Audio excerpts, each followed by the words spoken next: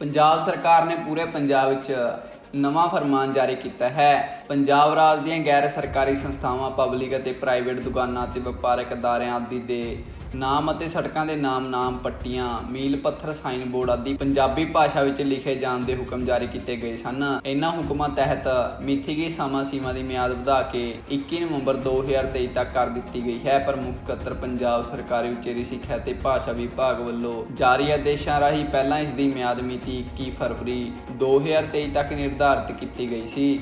ਜ਼ਿਲ੍ਹਾ ਭਾਸ਼ਾ ਅਫਸਰ ਡਾਕਟਰ ਸੰਦੀਪ ਸ਼ਰਮਾ ਨੇ ਦੱਸਿਆ ਕਿ ਪੰਜਾਬ ਸਰਕਾਰ ਵੱਲੋਂ ਸੂਬੇ ਅੰਦਰ ਪੰਜਾਬੀ ਭਾਸ਼ਾ ਨੂੰ ਪ੍ਰਫੁੱਲਿਤ ਕਰਨ ਅਤੇ ਪੂਰਾ ਮਾਣ ਸਨਮਾਨ ਦੇਣ ਲਈ ਵਿਸ਼ੇਸ਼ ਉਪਰਾਲੇ ਕੀਤੇ ਜਾ ਰਹੇ ਹਨ।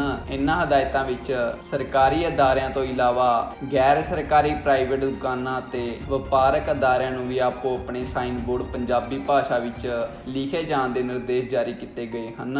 ਉਹਨਾਂ ਨੇ ਦੱਸਿਆ ਕਿ ਪੰਜਾਬ ਰਾਜ ਦੀਆਂ ਗੈਰ ਸਰਕਾਰੀ ਸੰਸਥਾਵਾਂ ਪਬਲਿਕ ਅਤੇ ਪ੍ਰਾਈਵੇਟ ਦੁਕਾਨਾਂ ਅਤੇ ਵਪਾਰਕ ਅਦਾਰਿਆਂ ਆਦਿ ਦੇ ਨਾਮ ਅਤੇ ਸੜਕਾਂ ਦੇ ਨਾਮ ਨਾਮ, ਪੱਟੀਆਂ, ਮੀਲ, ਪੱਥਰ ਸਾਈਨ ਬੋਰਡ ਆਦਿ ਪੰਜਾਬੀ ਭਾਸ਼ਾ ਵਿੱਚ ਲਿਖੇ ਜਾਣ ਦੇ ਹੁਕਮ ਜਾਰੀ ਕੀਤੇ ਗਏ ਸਨ। ਇਸ ਦੇ ਨਾਲ ਹੀ ਇਹ ਵੀ ਸਪਸ਼ਟ ਕੀਤਾ ਗਿਆ ਸੀ ਕਿ ਅਜਿਹਾ ਕਰਦੇ ਸਮੇਂ ਸਭ ਤੋਂ ਉੱਪਰ ਪੰਜਾਬੀ ਭਾਸ਼ਾ ਵਿੱਚ ਲਿਖਿਆ ਜਾਵੇ ਅਤੇ ਜੇਕਰ ਕਿਸੇ ਹੋਰ ਭਾਸ਼ਾ ਵਿੱਚ ਲਿਖਣਾ ਹੋਵੇ ਤਾਂ ਹੇਠਾਂ ਦੂਸਰੀ ਭਾਸ਼ਾ ਵਿੱਚ ਲਿਖਿਆ ਜਾਵੇ।